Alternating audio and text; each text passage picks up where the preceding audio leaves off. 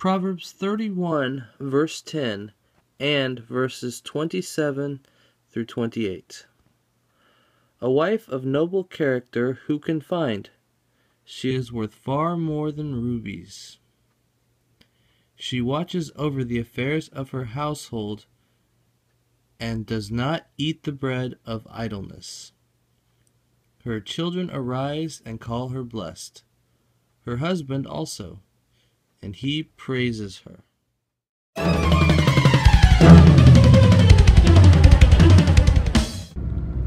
Good day, everyone. I am off to get some food before for dinner before the drive. So I gotta go over there, eat pretty quick, get back. I'll try to leave in about 30 minutes, so I should be fine. Okay, and I'll see with you guys in a bit.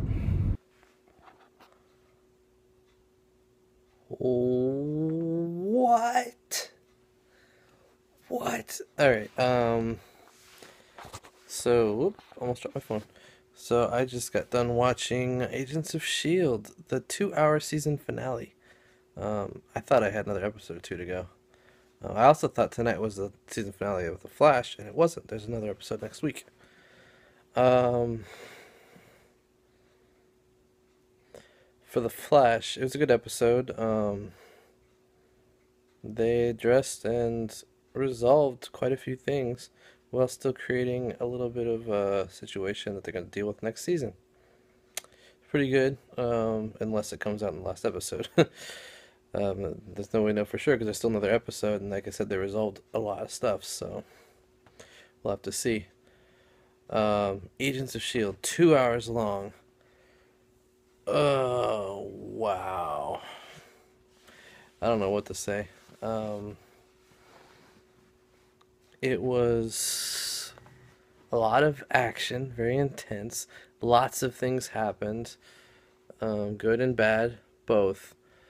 But most of the things seem to be resolving really nicely, setting up for what was clearly uh, going to be the end of the season, and who knows what's going to happen next season.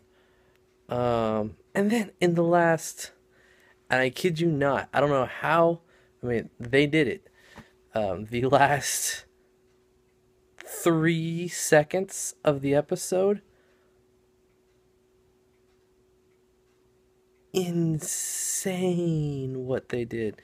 And it's just a big giant question mark to end the season. And I'm not going to go into details, sides, just um, there's going to be a surprise coming if you watch the show. It's just to be like, what?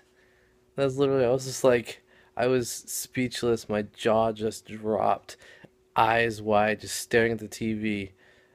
Uh, basically, they did. They went through the credits and everything, um, and I was just like the whole time. And I had to go back and watch. I watched it like since it was only three seconds. I watched it like fifteen times just to like try to wrap my head around it, and I still don't understand what the implications are behind it because it was a very vague concept that they hadn't really answered all that well. So, intriguing to say the least. Um, but we'll have to see. And then they said that Agents of S.H.I.E.L.D. and Agent Carter will be back next season. So there will be a, a season two of Agent Carter as well, which is good. Question is how long we have to wait.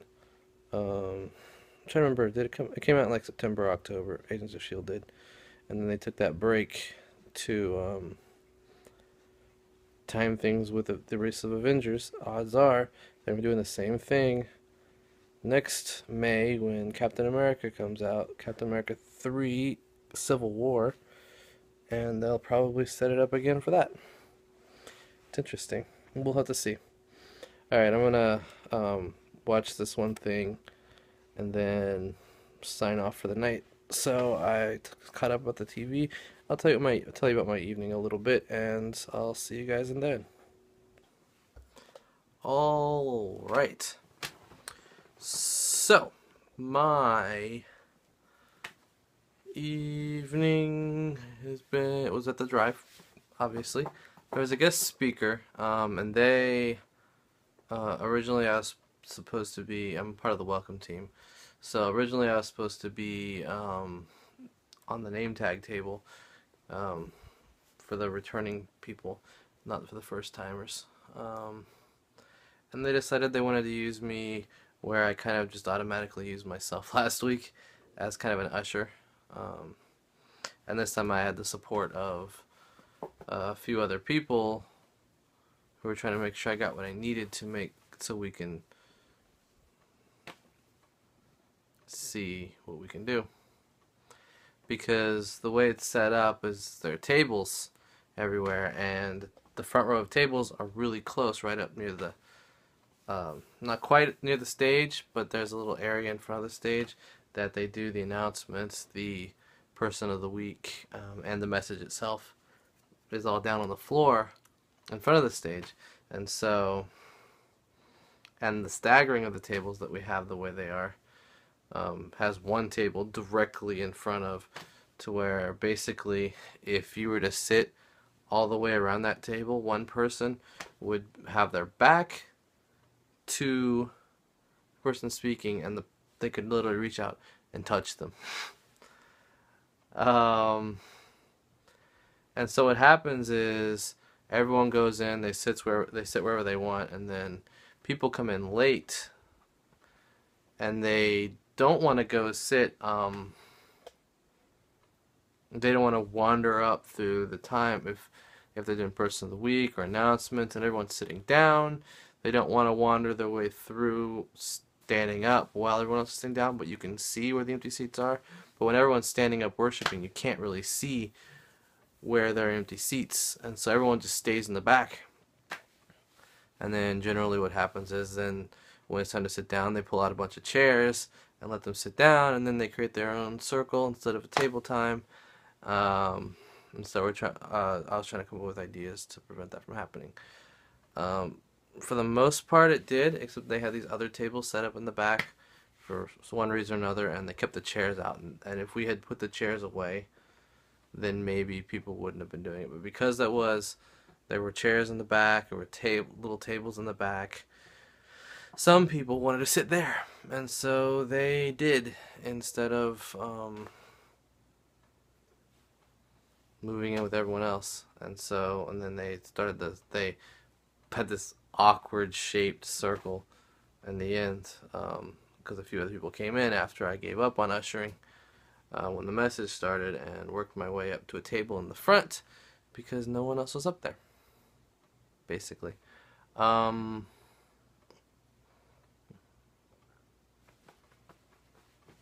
So, like I said, working on little ideas for trying to make it. Like I thought maybe we have a row of tables in the back that we trying to keep the, everyone from sitting in when they first come in. And so I'm like, if we could hide them behind the, the black curtain that they have set up kind of off to the sides in the back, if we could actually put tables behind that, and then once the space has been filled, if we need to, we pull that curtain, we pull the things holding the curtain back and the curtain along with it. And there are some more tables and only do that once we fill the front tables and also maybe move everything back a little those are my ideas um, I shared it with the guy who um, does who seems to do most of the setup although it's not his call but I just shared it with him and we'll see if it works better next week or whatever if they ask me to do that again I'm willing to um, the ushering part but I don't know. We'll see. Maybe they'll try to, to give the, the that role permanently, and I'll have to create a team of my own or something. I don't know. So yeah, then we went to Chick Fil A afterwards and hung out a little bit with the group. Um, it was good times. All right, I'm gonna close it here because I'm tired. And I was watching. I was gonna watch one more thing. I wound up watching two more things. Time got away from me It is quarter three. I should have come back. I should have paused it, come back here, and started this processing a long time ago. Oh well. This last clip right here just past five minutes, so I'm gonna say goodnight, everyone, and I'll see you tomorrow. Bye.